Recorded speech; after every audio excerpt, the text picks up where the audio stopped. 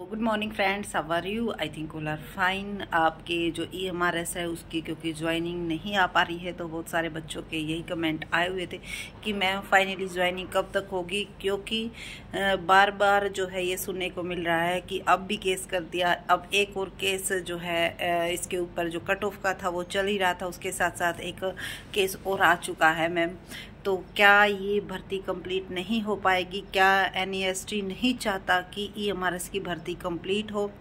तो इस वीडियो में इन सब चीज़ों, सब क्वेश्चंस को जानने की कोशिश करेंगे। और देखो, जितना पॉसिबल हो पाता है, आपकी जो डाउट है, उनको क्लियर करने की कोशिश करते हैं। लेकिन अगर फिर भी कोई रह जाता है तो आप कमेंट सेशन में पूछ सकते हो। क्योंकि कमेंट सेशन में ये है कि हर एक बच्चा आता है, जिसको भी, जिस चीज़ के बारे में नॉलेज होती है, कोई भी अपने आप में परफेक्ट नहीं होता। जो हमसे नॉलेज मिल पाती है, वो हम आपके पास शेयर करते हैं। और कमेंट में जो बच्चा जाता है, पढ़ता है, उसको उस चीज़ के बारे में नॉलेज होती है तो वो भी वहाँ पर जो है अपनी बातों को शेयर कर सकता है और इसीलिए हमेशा ये कोशिश की जाती है कि कमेंट सेशन ऑन किया जाए। अब रही बात केस की तो देखो ये केस वाला तो कोई मुद्दा है ही नहीं। क्यों? क्योंकि इसके ऊपर जो हमारी टीजीटी पीजीटी हॉस्टल वार्डन है उन पर कोई भी इफ़ेक्ट नहीं पड़ने वाला है। ठीक है? इस चीज़ को ज़रूर ध्यान में रखिएगा। और जो बच्चे आ, कई सारे कमेंट ये आते हैं कि मैम ऐसा लग रहा है कहीं भर्ती कैंसिल ना हो जाए। ठीक है? तो ये वीडियो स्पेशल उन्हीं बच्चों के लिए बनाई है, जिनके माइंड में ये चल रहा है कि मैम, ये भर्ती कैंसिल ना हो जाए। तो ये बात बिल्कुल अपने लिख लो, समझ लो कि भर्ती कैंसिल तो नहीं होगी, ठीक है? कंप्लीट होगी हंड्रेड परसेंट कंप्लीट होगी। ये है, थोड़ा टाइम लग रहा है भाई। टाइम लग रहा है तो सभी के मन में बहुत सारे डाउट बहुत सारे क्वेश्चंस जो है लगातार आते रहते हैं और जब तक स्कूल अलॉटमेंट नहीं हो जाता तो इस टाइप के क्वेश्चंस जो है माइंड में आते ही रहेंगे, ठीक है? लेकिन ये कभी भी मत सोचिएगा कि भर्ती कैंसिल हो जाएगी, ठीक है? भर्ती कैंसिल नहीं होगी हाँ जब भाई कोई केस करेगा, बंदा देखो हुमेन राइट है, आपको राइट मिला हुआ है, अगर आपको कहीं पर भी फॉल्ट नज़र आता है तो केस करने का आपके पास राइट है तो केस करते रहेंगे बच्चे। जिस चीज़ को डर किसको होता है? जिसने किसी कहीं पे गलती की हो, जिसका कहीं पर कुछ रोम हुआ है कि कहीं मैं यहाँ पे फंस ना जाऊँ, कहीं मैं यहाँ पे मेरा ये चीज़ पता ना चल जाए, ठीक है? तो उन चीज़ों को डर रहता है। तो केस अगर करते हैं तो उसका हमारी भर्ती पर कोई इफ़ेक्ट नहीं होता। इफ़ेक्ट सिर्फ़ उसको होगा जिसके ऊपर केस किया गया है, ठीक है? और जो अब केस किया गया है आई थिंक जहाँ तक पता है भाई प्रिंसिपल की भर्ती पर ये केस किया गया है, वो हैंडीकैप्ड कैटेगरी वगैरह का कुछ मैटर है तो हमारी भर्ती पर उसका कोई इफ़ेक्ट नहीं होगा। और प्रिंसिपल की भी भर्ती पर कोई इफ़ेक्ट नहीं होगा। सिर्फ़ ये है कि भाई थोड़ा सा टाइम जो है वो बढ़ सकता है और वो एन की टेंशन है ई एम कमेटी की टेंशन है, वो हमारी टेंशन नहीं है, ठीक है? ये है कि भाई देखो, जितना ज़्यादा टाइम पीरियड लग रहा है, उतनी सभी के माइंड में ये क्वेरी चल चल ही रही है कि मैम पहले अप्रैल में बोल रहे थे कि अप्रैल के फ़र्स्ट वीक में हो जाएगी, फिर मिड में बोलने लगे और फिर जाके जून में कहने लगे। और अब जो है केस लगातार हो रहे हैं तो अब ये कह रहे हैं कि जुलाई में और एक दो ये भी सुनने को आया है कि भाई अगस्त में हो जाएँगे। ठीक है? तो भर्ती तो ज़रूर होके रहेगी, लेकिन ये है कि भाई टाइम थोड़ा सा लगेगा। नई वैकेंसी भी आएँगी। जब आप ये देखो, आपके माइंड में अगर ये क्वेश्चन आता है तो आप ये सोच के देखो, इतनी सारी वैकेंट पोस्ट हैं।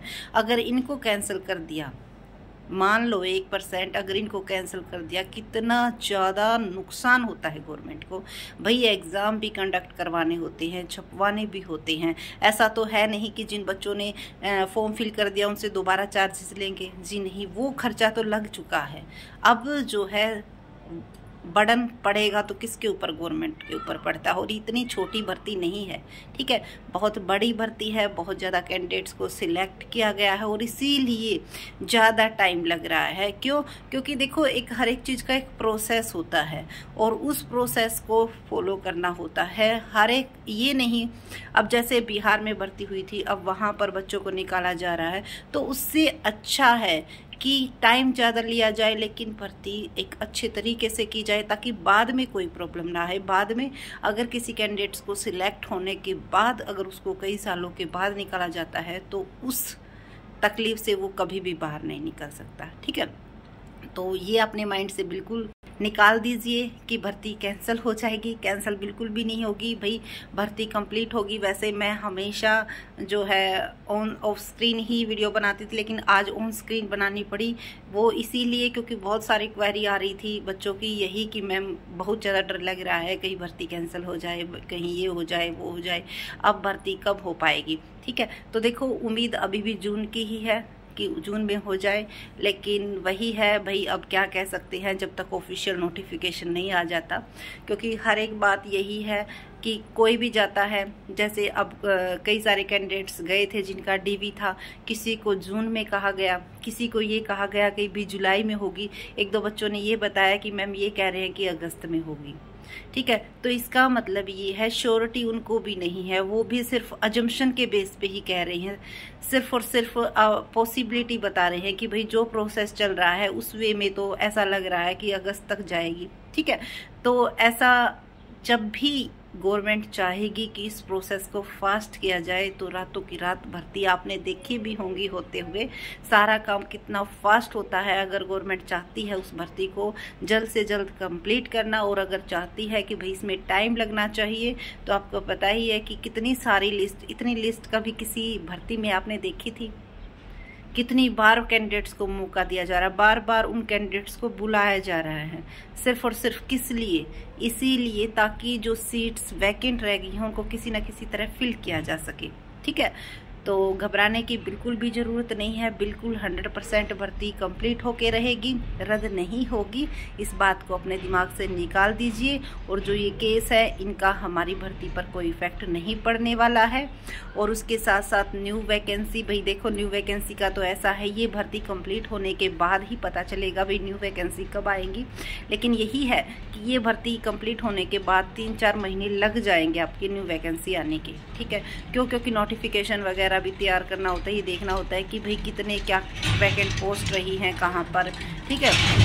और रही बात आपकी वेटिंग लिस्ट की, कि वेटिंग लिस्ट का यही अभी तक जो भी इंफॉर्मेशन मिल पाई है, यही मिल पाई है कि जो आपका फाइनल सिलेक्शन हो जाएगा, उसके बाद वेटिंग लिस्ट ज़रूर आएगी 100 परसेंट श्योर आएगी। तो जिन बच्चों का एक एक दो दो नंबर से रह रहा है, भाई उनके चांस है एक साल तक। आपके जो कैंडिडेट्स हैं, अगर कोई कैंडिडेट्स ज्वाइन नहीं करता है या फिर एक कैंडिडेट्स का ऐसा भी हुआ है जिनका दो दो पोस्ट पे इकट्ठा सिलेक्शन हुआ है तो एक पर्सन एक ही जगह पे ज्वाइन कर पाएगा। जैसे जैसे कईयों ने टीजीटी पीजीटी दोनों के लिए अप्लाई किया था तो एक पोस्ट पर एक ही पर्सन अप्लाई कर पाएगा तो जो वैकेंट सीट रहेगी, उसमें वेटिंग लिस्ट वालों को वही चांस है कि वेटिंग लिस्ट वालों का वहाँ पे सिलेक्शन हो सकता है। ठीक है? तो वेटिंग लिस्ट वालों की होप है, लेकिन यही है कि भाई आपका जो डीएसएसबी का एग्ज़ाम है एनवीएस का है, उनकी आप तैयारी साथ साथ करते रहिए। हम हर बार यही बात कहते हैं कि भाई अपनी तैयारी मत छोड़िएगा, कहीं आप इस भरोसे बैठे रहो कि वेटिंग लिस्ट में नाम आएगा और फिर आप का यहाँ भी सिलेक्शन नहीं होता है और वहाँ पर भी रह जाता। तो पढ़ाई कभी भी आपकी वेस्ट नहीं जाती है, हमेशा वो कहीं ना कहीं आपकी काम ही आती है, आपकी नॉलेज इंक्रीज होती है, ठीक है? तो इसीलिए अपनी तैयारी आप ज़रूर जारी रखिएगा और हाँ ये श्योर है, भाई भर्ती रद्द नहीं होगी। लास्ट में फिर कह रही हूँ वेटिंग लिस्ट ज़रूर आएगी। टेन परसेंट कैंडिडेट्स की तो आनी ही है और अगर सीट्स ज़्यादा रह जाती हैं तो भाई कुछ कह नहीं सकते, फिर ज़्यादा बढ़ भी सकती हैं, ठीक है? क्यों, क्योंकि कोशिश यही की जाएगी कि वैकेंट पोस्ट को पूरी की पूरी बढ़ा फिल किया जाए और एक साल तक वेटिंग लिस्ट वालों कैंडिडेट्स का सिलेक्शन के चांस रहते हैं। ठीक है आई थिंक आज आपके जो डाउट हैं, वो क्लियर हो गए होंगे। बार बार जो आपके माइंड में क्वेरी आ रही थी, वो सॉर्ट आउट हो गई होगी। तो घबराना बिल्कुल भी नहीं है। मोटिवेशन के साथ लगातार आपके जो काम रुके हुए हैं, आप तब तक उनको कर लीजिएगा। जल्द ही आपको गुड न्यूज़ भी सुनाएँगे, ठीक है? जैसे ही जो भी ऑफिशियल अपडेट मिलेगी, आपके साथ ज़रूर शेयर की जाएगी। केस वगैरह का कोई इफ़ेक्ट हमारी भर्ती पर नहीं पड़ने वाला है। एट लास्ट फिर यही कह रहे हैं। So thank you so much video अच्छी लगी तो लाइक कीजिए चैनल को सब्सक्राइब कीजिए और अगर आपके कोई भी डाउट है तो कमेंट कीजिए। Thank you